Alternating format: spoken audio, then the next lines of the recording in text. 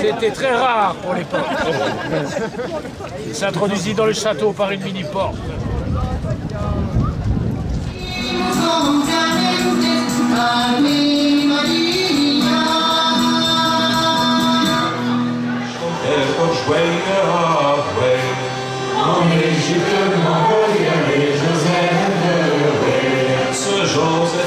mystic proverbe En Égypte, m'envoyer Par mon cul de roc, les forges way En Égypte, m'envoyer Joseph de Yes, the poet comforter En Égypte, m'envoyer Jamais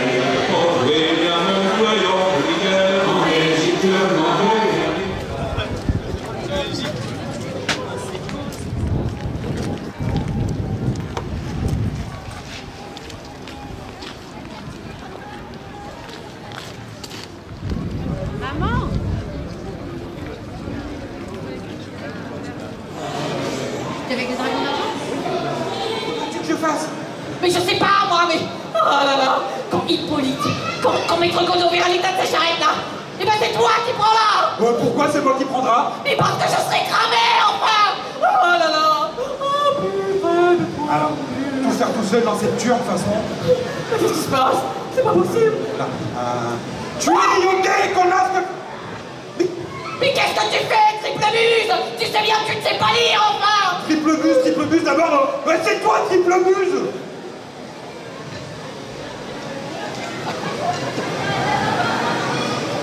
Jeanne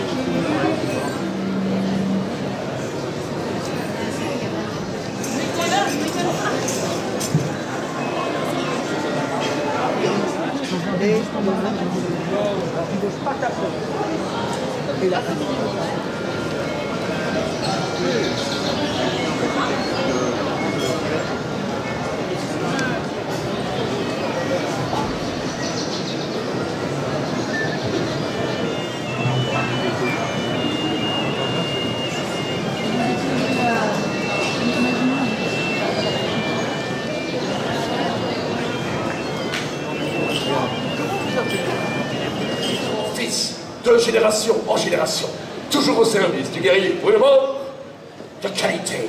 Et moi, je suis Flamèche, son assistante pour tout ce qui concerne l'intendance, la comptabilité, la gestion des stocks et les ressources humaines. Et c'est aussi mon épouse. Et elle est très gentille. Et moi, je suis le Pichou, et je vous propose là euh, bah, de finir votre repas, de vous rester, de vous faire des câlins, des bisous. Toi, tu fais ce qu'on te dit, Ouais, en fait, c'est- le petit nouveau. Oui. Et ensemble, nous allons vous vendre nos armes d'ast. Parce que Chez Billy Mercator, nous vendons la guerre et nous la vendons bien. Merci. Ça suffit, oui Merci. Les armes d'Ast. Ce sont toutes ces armes avec un long manche en bois et du métal. Alors le mot Ast vient du latin Astia qui signifie Pichou. Euh, lance, en grec. Latin. Le patron, de toute façon, le latin, le grec, c'est des langues mortes, on s'en fiche. C'est la vie morte. En tout cas, euh, messieurs, dames, nous allons vous raconter une grande bataille au cours de laquelle ces armes ont fait preuve d'une efficacité redoutable. La fameuse bataille de Poitiers en 1356. Et nous en profiterons subtilement pour faire quelques placements de produits. Subtilement. Alors, messieurs, dames, la bataille de Poitiers. Ouais. Fais-le, je crois. Mais en fait, tu leur essayé pas prévu que c'était le titre de l'épisode. euh, Ils n'étaient pas prêts. Moi, je vais leur faire. Fais leur tour. Vous êtes prêts?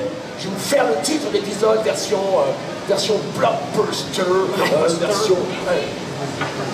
Il est à qui celui-là Ça a quoi Ça a qui ça C'est à qui ça Ouais, bah, Ouais. Rangez-le. euh, Retourne dans ton enclos. Oui, voilà. Version. euh, euh, euh, Blockbuster, on était à Blockbuster. Allez-y, on on est- c'est la teuf. C'est dimanche. Juste la promotion sur. euh, Alors, la version Chuck Norris, mon très cher. non, je peux faire euh, Sylvester Stallone. Ah ouais, c'est le Stallone. Compiègne, The Battle of Pointers. C'était pas ma guerre. Alors, Quelqu'un veut passer encore? Vas-y, vas-y, fais ta version. Alors, moi, c'est une version plus contemporaine, ça fait La bataille de Poitiers. Pas mal. C'est drôle, c'est élégant, c'est ça. Version Patrick. Alors, attention, hein, il ne faut pas confondre avec celle de 732 contre les Sarrasins. Mais oui, nous nous parlons de celle de 1356 contre le prince noir. Ah, mais c'est pour ça, moi, je les confonds toujours toutes les deux. Ah bon Ben oui, parce que tu sais, du blé noir, tu fais de la farine de... Sarrasin, ben voilà, il y en a trois qui suivent. Et donc, et donc moi, je me suis dit, du coup, le prince noir, en fait, il est sarrasin. Et en fait, non, pas du tout, il n'est pas sarrasin. Mais non, il était anglais. Ouais, il était anglais. Et alors, les filles, le prince noir, il était super beau damoiseau. Oh, ça va, on se calme.